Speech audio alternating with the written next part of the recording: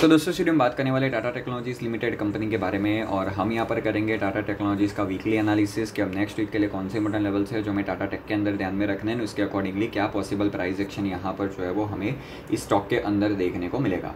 अब देखो दोस्तों, बात अगर हम करें यहाँ पर अभी फ़िलहाल के लिए टाटा टेक्नोलॉजीज़ की तो इस काउंटर के अंदर भी यहाँ पर जो है वो ओवरऑल मार्केट में गिरावट है नेगेटिविटी है। हमें यहाँ पर जो है वो काउंटर के अंदर प्रॉफिट बुकिंग देखने को मिल रही है but that is totally a normal thing right अब यहाँ पर क्या हो गया तो स्टॉक जो है वो 1120 से लेकर 1140 रुपीज़ के ब्रेकआउट जोन पर ट्रेड कर रहा था। अब ब्रेकआउट देने की जगह पे यहाँ पर जो है वो टाटा टेक्नोलॉजीज़ के अंदर आ चुका है। यहाँ पर क्या? एक ब्रेकडाउन या फिर अगर मैं कहूँ तो एक रिजेक्शन अब देखना ही है कि यहाँ पर ये रिजेक्शन जो है वो कितना कंटिन्यू रहता है, क्योंकि स्टॉक जो है वो अभी फ़िलहाल के लिए हमें थाउज़ेंड एंड फिफ्टी रुपीज़ के